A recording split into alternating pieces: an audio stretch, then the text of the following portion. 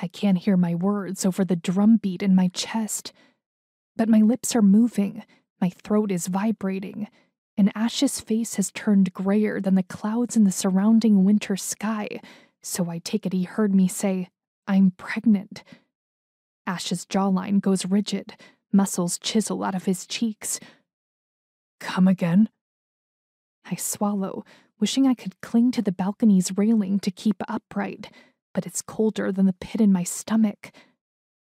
I. I'm pregnant, and it's yours. Ash massages his neck, stretching the inked dragon's head. He's grown his hair out these past few months.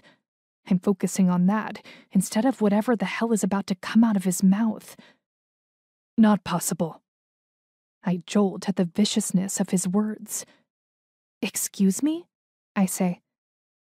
I suit up. I always suit up. Ash points a finger at me. You can't tell me we didn't use protection. We did, I know. I nod, though I don't know why I'm trying to appease him. But like they teach us in sex ed, condoms aren't always foolproof. You weren't on anything? Ash's gaze comes back to me, a storm of dark blue breaking through the gray. Pills? That IUD thingy? No, because I wasn't having sex. I never had sex before you. The truth sticks in my throat. You're asking me this now? I say instead. Chicks always have a plan B. Always. Ash is back to pointing.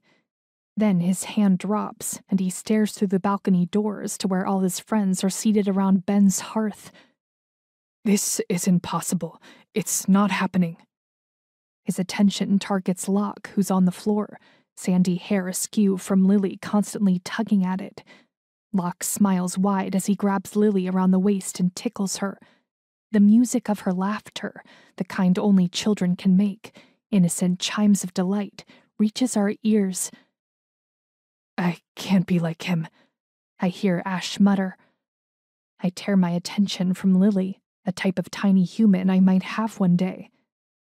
What did you just say? Ash pulls away from the scene and digs his hands into his hair.